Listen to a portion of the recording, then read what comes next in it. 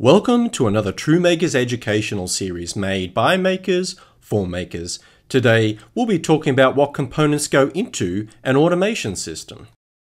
Let's start by covering the anatomy of parts that form a typical automation system. Depending upon the application, an automation system may contain sensors to measure temperature, pressure, motor RPM, or push buttons to enable the operator to start or emergency override the system. The inputs will typically interface with a programmable logic controller, which is the brains of the operation containing the software and CPU to execute the automation task. The programmable logic controller is responsible for controlling outputs such as motor speed and direction, actuators, and a variety of other devices that would perform the automation task.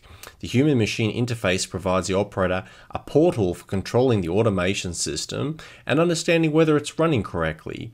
The human machine interface may include statistical data about the automation task and diagnostic information in the event an error is detected.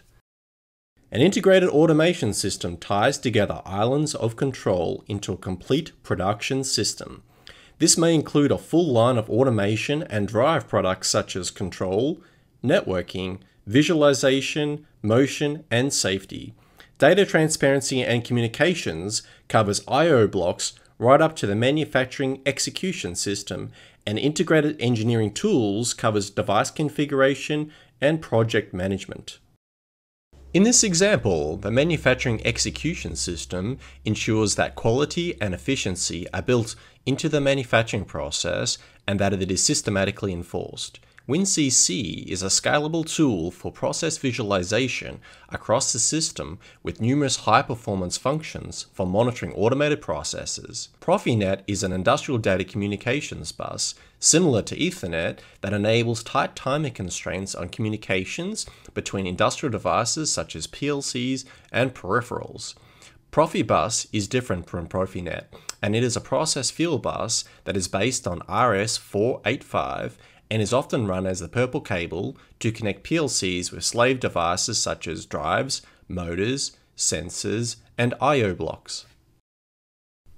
The elements highlighted here include the programmable logic controller, motor drive, and human machine interface that constitute a standalone control system without the other blocks. These elements can run independently of any other network, ensuring the automation task is performed with precision and reliability.